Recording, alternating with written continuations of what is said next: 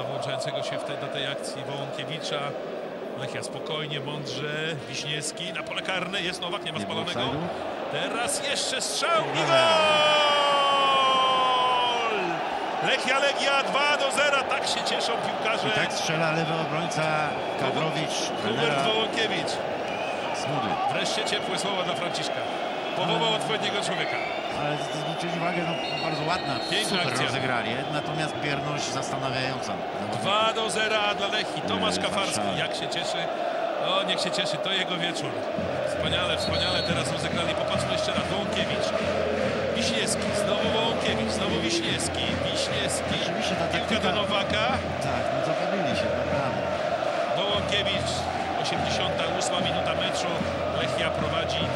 0. Ta taktyka y, trenera Kafarskiego, takie wrażenie, nie, może nie teraz, y, ale już w Feszukowie był, także na początek nawet się